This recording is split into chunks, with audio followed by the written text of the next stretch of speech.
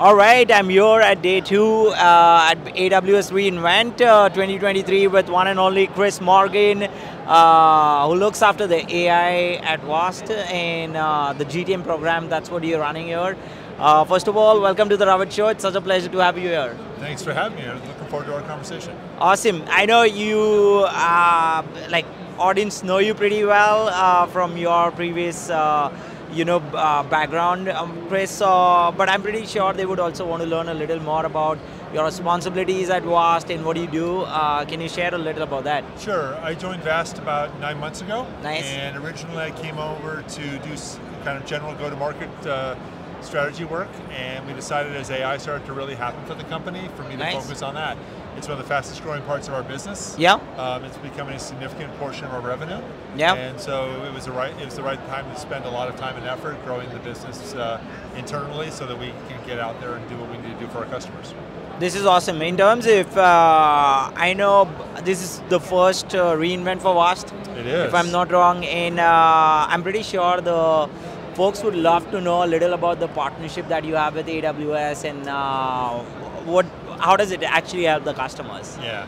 So a couple things. So this is our first visit here to, uh, for to AWS yeah. reInvent. Yep. Um, we have a very small presence now, and this is kind of like uh, an exploratory, you know, kind of visit. Yeah. Um, we're just starting to bring products to market that are going to run on uh, AWS Marketplace. Amazing. on top of yeah. S3. The main reason that is customer demand. Customers have a lot of data sitting up here in the Amazon cloud. Yep. And especially around AI, a lot of that data needs to be you know, put into a hybrid architecture with what we do for our customers on-prem.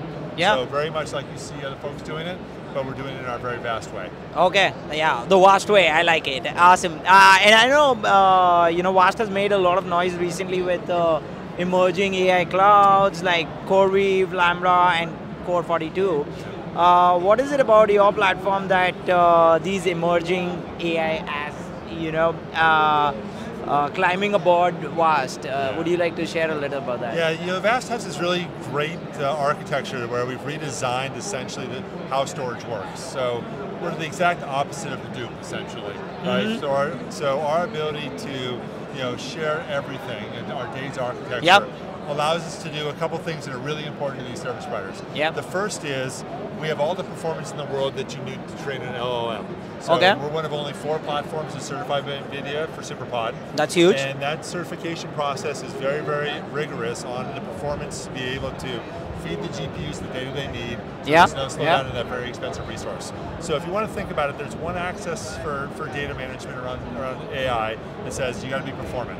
The other access for service providers is that you have to have all the management features you need. I need multi-tenancy, I need QoS, I need security, I need all that kind of classic you know, suite right. of tools in order to manage it for managing my customers if I'm a service provider. Yeah. VAST is the only platform that has both of those elements. Wow. So traditional parallel file systems, Lustre and mm. BeeGFS, those systems do not have the manageability, they don't have the uptime, they don't have any of that kind of build a business out of it because yeah. they're really yeah. academic systems. They were built for academic high performance computing. We have both sides of that equation. It makes it very, very successful for our customers to build a business on top of it. Yeah, no, I love it. And uh, just on that front itself, uh, because I know you, like we were talking about it off air as well, uh, like everyone's talking about AI in 2024, maybe it's going to be more than what we see right Absolutely. now. Um, so just a question around that is, what are some emerging AI and data, you know, workloads that these data cloud uh, providers uh, are servicing? Would you like to share a little about that? Yeah. So I think 2023 was the was the year of the model training. You know, this was about I'm going to get some data, I'm going to train you know models. Yeah. And that's only one part of the whole AI journey. Right. So for us at VAST, we look at the entire data pipeline around AI as a as a business function. Mm -hmm. That starts with gathering data, doing an ETL process, presenting that data as a training set to GPUs, coming out with a trained model, and then going off to inference. Okay. Okay. So 24 is going to be about completing that data pipeline. So everybody's right. focused on LLM at 23. Everybody we're talking to now is focused on the on the data train data curation to yeah. inferencing yeah. pipeline.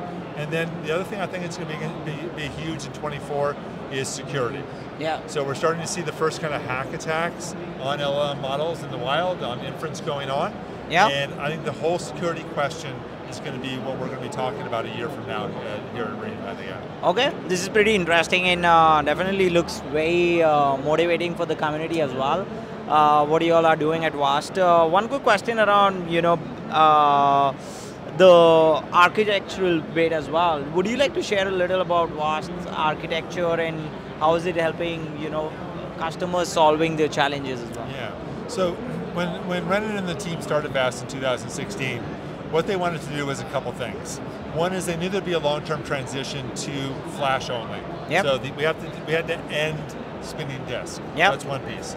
The second piece was there's real huge inefficiency in the way a Hadoop file system is built. So a shared nothing file system. Yep. That you have a server and disk in the same box, and then all those servers and disks need to talk to everything else. Yeah. There had to be a faster, better way to do this because Renen and the team saw that AI was going to be a massively data-intensive process, that those legacy architectures, which this, the youngest of them is 22 years old, Yeah. the oldest of them are 35 years old. So clearly those architectures were not designed for the future we're into to coming up on today. Yeah. So as they looked at it, they said, look, first thing is we need to take the state part of this and get that on the flash, low-cost flash. Yeah. Okay. On the stateless part of this, we need to put this into containers. Right. This has got to be flexible.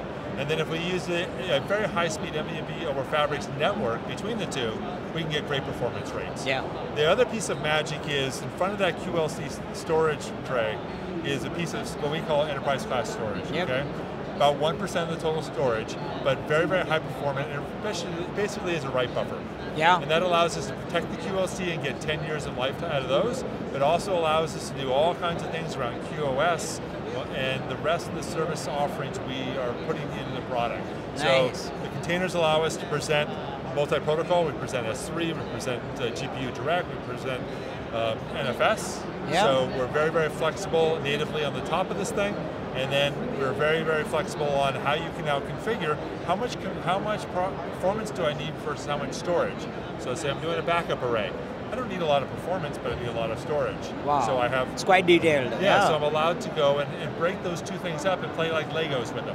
Yeah. I can pick how much compute I need Yeah. and then how much storage I need, and I can optimize it. Okay. And it allows for great economics with huge data reduction. So Yeah, exactly. The cost saving is huge there. yeah, right? that we can get for something like a backup array, we can be a price competitive with spinning disks with Flash. It's amazing. Awesome, I can't wait. And uh, definitely uh, 2024, like we were talking about. Uh, so, my last question as we conclude is obviously around 2024, and uh, what's the big mission for VAST, and uh, how are you looking at the AI space? So the first ASPs, the CSPs. Uh, no, AI space. I mean, Oh yeah, yeah, I'm sorry, I misunderstood yeah, you. No worries. So uh, first, just growth. If, if my CEO Brendan was here, he'd say we're about growth. We're growing very, very quickly. We want to keep that growth up. Yes. AI is going to be a big driver of growth for us in 24. Yeah. It was, it was in 23. It's going to be more so here. Yeah. We solve data problems for AI that nobody else can solve. Nice. And that is really what we're about. Um, it's going to be a significant part of our business in, you know, Yeah. in 24, and it's going to fuel us being the fastest growing infrastructure company in the industry. I can't wait. And uh, this is amazing, Chris. And uh, thanks for taking the time out today. I know it's a busy day for you. It is busy. You've been talking a lot around at uh, places, and then um, it's been a busy booth as well. So folks who are around at AWS can actually uh, come by Vast and uh, even get some cool swag. Uh, right? and Uh, have your picture taken yes. with the astronaut. Uh, it's so cool. Awesome. Chris, thanks once again for visiting the Ravit Show. Definitely looking forward to doing it again. Robbie, nice to meet you, and thanks for having me on. Awesome. Thank you. Pleasure. Thank you, everyone.